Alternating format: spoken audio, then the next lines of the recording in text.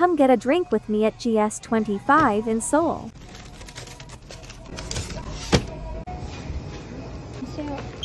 The total was 1.38 USD.